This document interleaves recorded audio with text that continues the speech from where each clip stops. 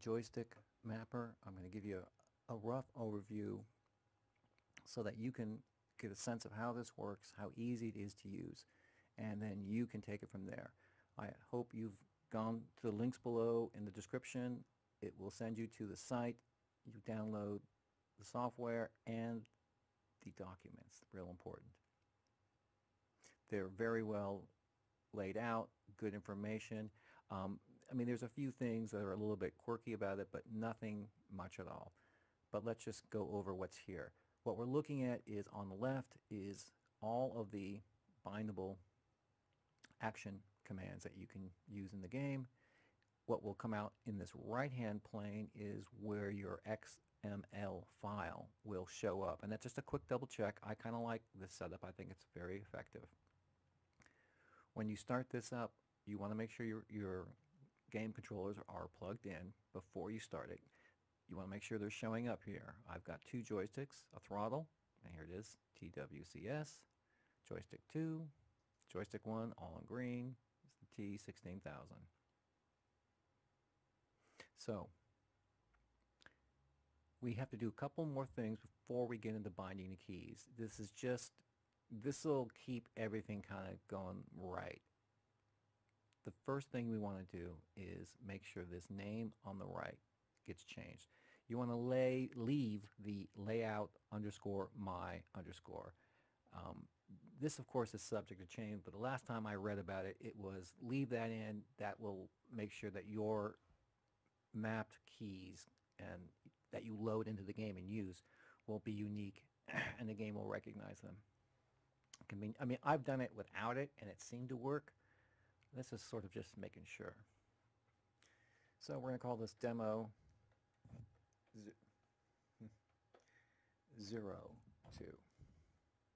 And up here, at the title, in the center there, same thing. Name it whatever you want. I'm just calling it demo 2. So those are names that should be the same. You'll notice that this says um, pp underscore rebind keys underscore layout my demo 02 and that's the command for the console and we'll use that with this clipboard. You click there, it's now on the clipboard so that command can be easily pasted into the console in game.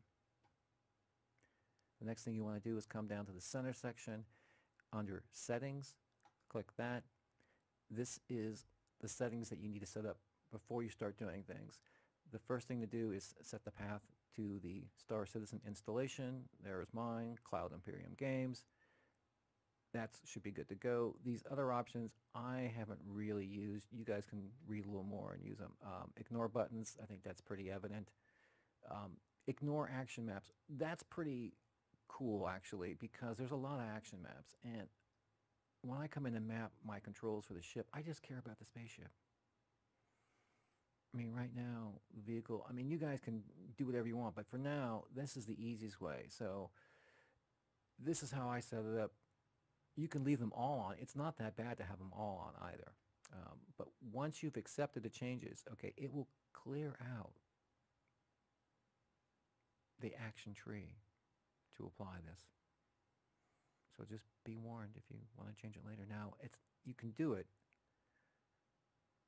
but right now let's not except the defaults are there. Now it's got multiplayers on there, that's fine. Um, but mostly all it shows is spaceship. So I've got less to deal with. Okay. Right click, spaceship movement. Collapse to selected. I love that. It is wonderful. Now all my movements are going. We're going to start with the joystick. I'm going to start with the yaw. It's on the x-axis. I just move the joystick whatever input that has will show up here. I'm going to right click on the yaw.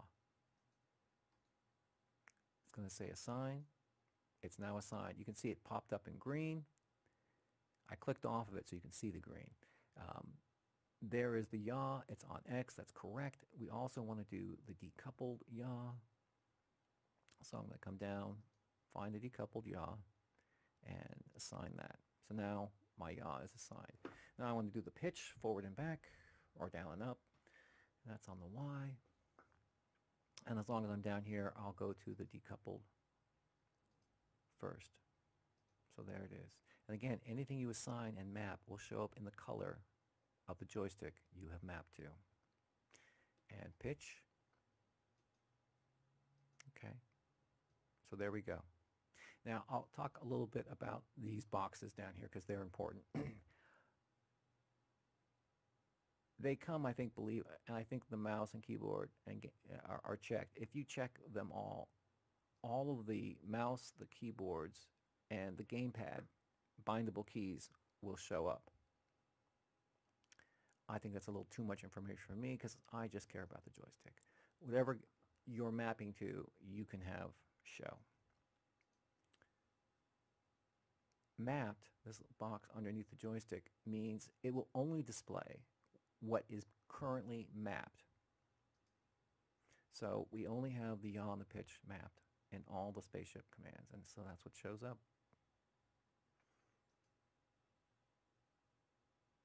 The next thing to map for me is the acceleration, the throttle on joystick 2. That's my throttle. So I'm going to click on that.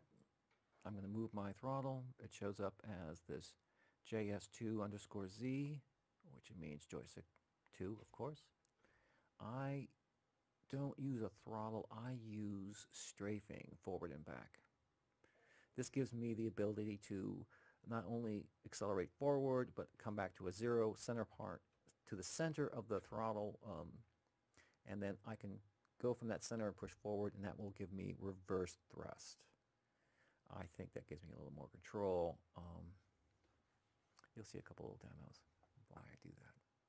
So I'm going to find the strafe. And strafing, it's probably easier just to put in a filter. And this box down here is to create a quick mini filter. And it just, if I type in an STR, it's smart. It figures it out. I love this. See, it starts out with this V, but he ignores that and he goes right to what I care about, which is strafe. Now I see every single strafe command in the spaceship movement. I'm going to assign it to the Z, and what I want is this one here. Um, he calls it this longitudinal whatever, and I'm like, okay, it's forward and back in the game, and that's how I think of it. So I'm going to assign that, and also the decoupled version. So now that is on for my throttle. And that takes care of all of the basic movements. If you forget and leave this STR sitting in here, you can't see anything else. So make sure you take it out. The next thing I like to have on here will be strafe control, um, left, right, up and down, or vertical, lateral. And you kind of have to get used to figuring out what they mean by some of these action maps. It's not hard to figure out. If you get it wrong, not a big deal. Go back and change it. Again, I'm only interested in strafing at the moment. So STR I'm going to stay on joystick 2 because I'm going to put this on the little thumb control here and I'm going to go, that's my left. So button 7, joystick 2, button 7, I want to see that on strafe left, assign, and again, for, you've got to do coupled and decoupled. To the right, button 9, strafe right, assign, strafe right. Now, up and down. So button 8 will be up.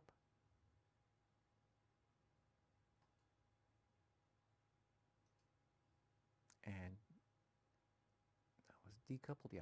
And then up on coupled.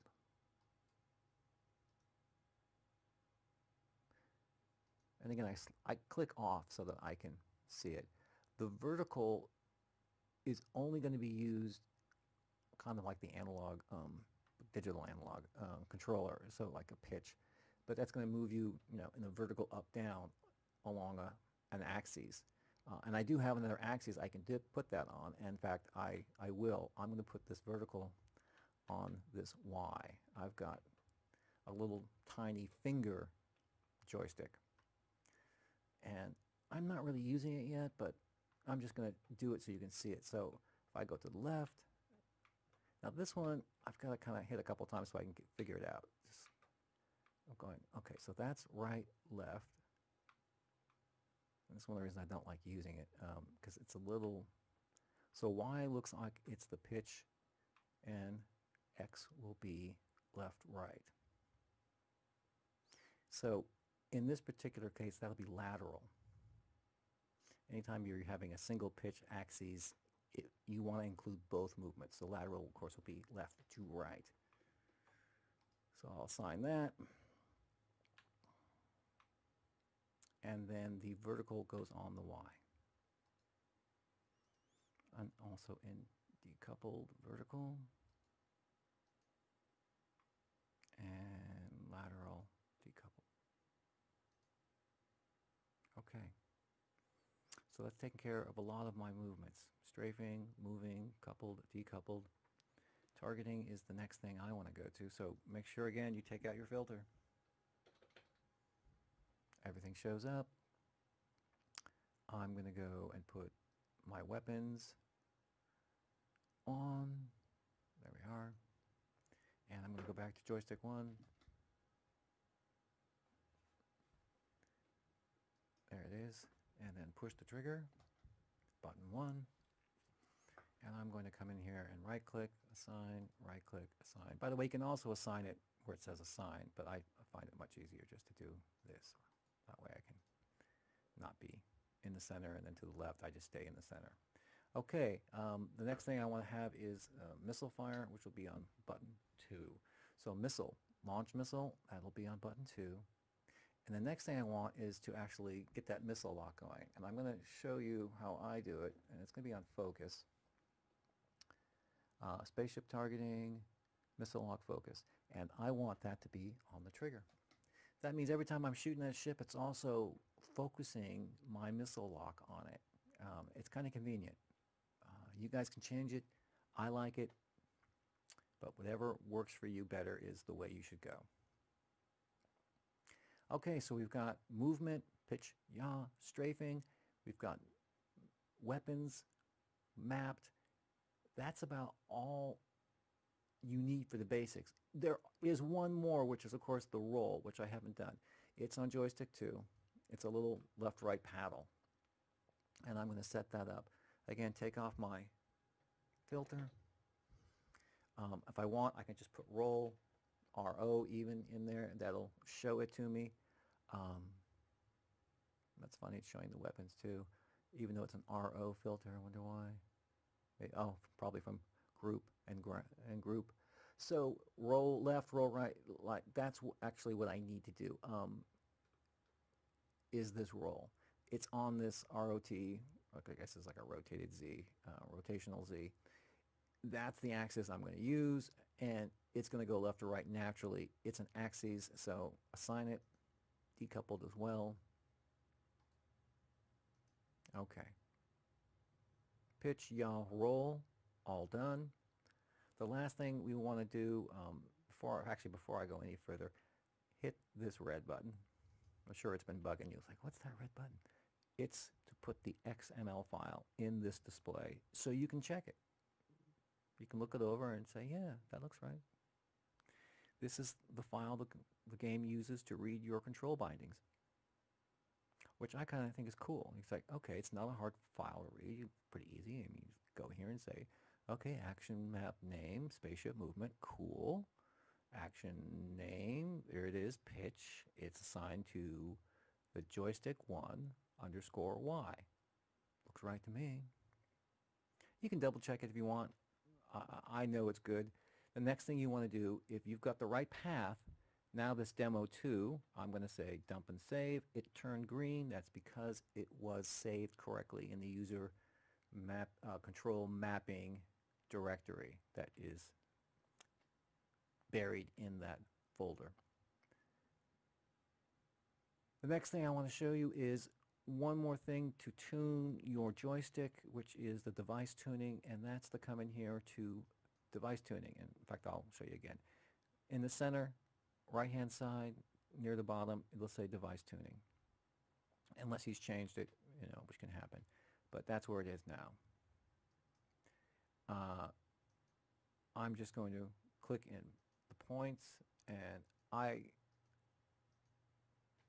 click on sensitivity too. This just sets up what you can do over here. This box of blue, red, green is just which axes you're controlling. And uh, I just start with the top one, the yaw. Sensitivity, I leave it at 100. You can change that if you feel you need to. Again, these are all up to you. I'm going to show you a quick curve. This is the input and output curve. And what I'm doing is setting up a basic common structure for a curve, which is anything on this diagonal, anything below in this area will be less than your input. In other words, if I move the yaw right now, you can see, in fact, if you look at the numbers under y-axis, you'll see it. You'll see an in and out. In, right now,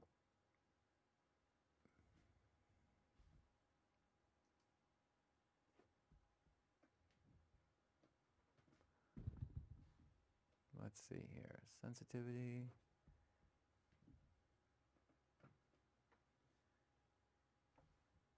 Okay, well let's double check this because it's not actually activating. And why is that?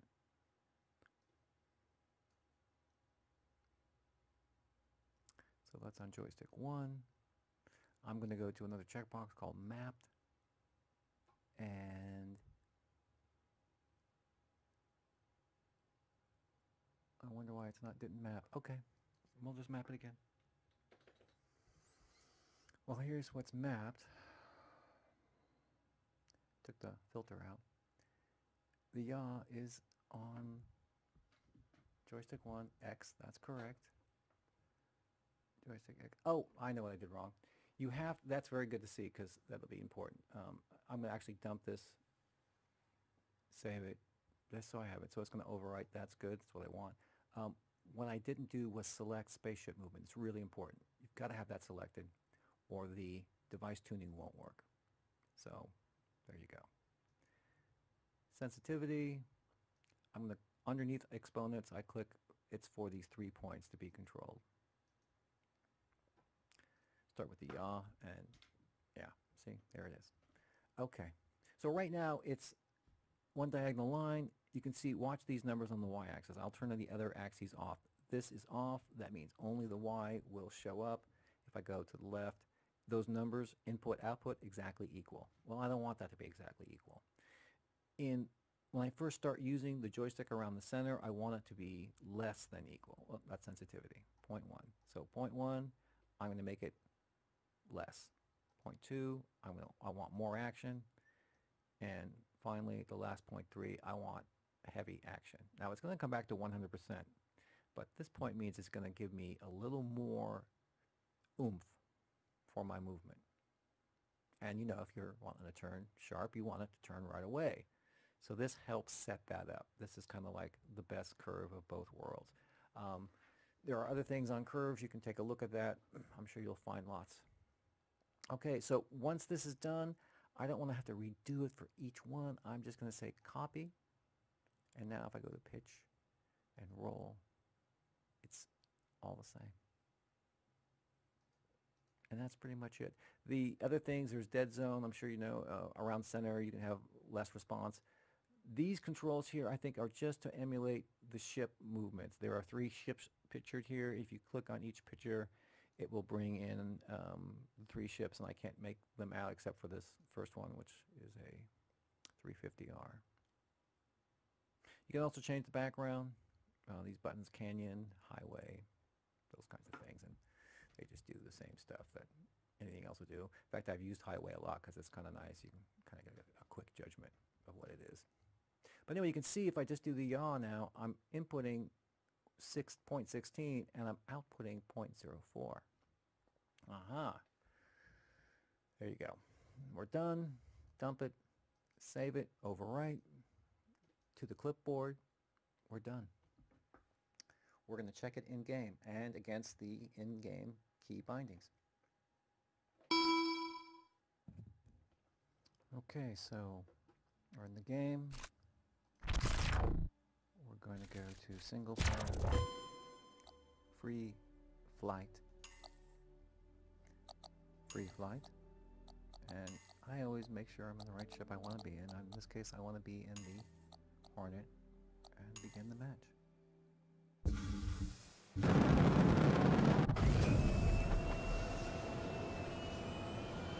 So before I do anything else, I'm going to tilde, bring up the console, Control V, paste in my current demo 02. Now this is going to overwrite what I have already set up for my key bindings, and that's okay. We'll come back to that. I think I used Thrustmaster 01 or something. But I'm going to hit enter. It's going to say at the very end of all that, loaded, enjoy. Music to my eyes. Hit tilde again, and now this is the map that I am currently using, the one we just set up. So go to the right, it's good, it's my yaw, pitch, okay. My throttle seems to be working. There's my reverse. I go back to the center and toward me acceleration.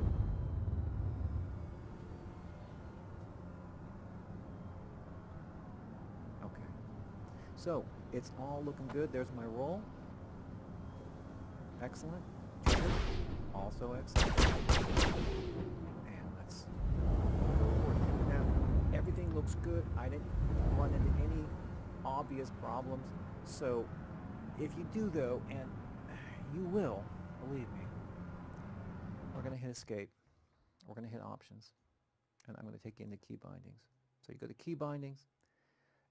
At this stage, you've got an arrow. It's grayed out to the left, but you can go to the right. Now I'm going to the joystick because I have this HOTAS setup. In fact, that's very similar to what I have. Not quite, but close. And by the way, you can just use just the throttle um, joystick because this Thrustmaster has this throttle right here. And it's got keys that you can use. It's a standalone. So if you're looking to go a little bit less expensive than buying, you know, a separate throttle controller, you can do it. Okay, down here at the bottom right, advanced controls. You come up here and these are all the action maps that you can set. They're collapsed, thank God. And here we go. Pitch, yaw, roll. And you can see throttle zero I have actually set up already. It's It's got one of my old maps, and I, in fact I'll show you. If you go under control profiles, it'll show you what you have loaded up. I've got demo 1, demo 2, which is what we just did, and my Thrustmaster 0001. That's the one I normally use. That's my setup. I've been tweaking it for a while now. You'll each have that. But that's good to know that it, the game keeps these profiles. And by the way, you want to do a backup of your user folder so that you have a copy elsewhere, not just within the game, because if they wipe the alpha, you will lose that data. You have been warned. I think I'm going to flash a big warning, copy your user folder to make sure that you have those files. So we're in good shape. Um, you can scroll back through here. Now the other thing that you can do, which is to continue to go to um, oh, control profiles. Um, I remember where is the uh, keybind? Oh, controls. If you come to controls and you want to see the curve that we've just set up, it's in here too. You have to go to controls. You have to be, you know, by the way, you have to be in the joystick also. Don't be in mouse. This will show you the curves that are set up. Joystick sensitivity curves, flight, flight movement. These are the defaults. I've set a custom. So if I come in here and hit edit curve, you'll see the curve we set. And let me tell you something. This one's not bad, but the other one, man, that's easier. Way easier. So, I hit save. You probably should have just hit cancel, but that's okay. So this is where you would find that information. It's a little confusing because you gotta, when you first get in here, you see this, this is inversion. If, by the way, if you want to invert your settings, you can do that in the mapper, the joystick mapper, or you can do it in-game. Um, I wish they had that closed to begin with, but this is where you would tell it to yes, invert. That's all these settings are, is to invert those controls. Then the next section will be joystick sensitivity curves, dead zone curves, so you get a lot of control. And saturation, um, you're going to have to look that one up because I vaguely remember it's, you know, how much influence or yada yada you get, but I'm not going to tell you wrong. So, all right, we are done with that. I think we're about done for the day. I can't think of anything else I would show you except to um, wish you luck, and I will see you in Star Citizen. Oh yeah, Star 42. Come back. There'll be more. I I didn't record. I just did everything I didn't. Oh, I didn't just. Oh my god, I did. Checkpoint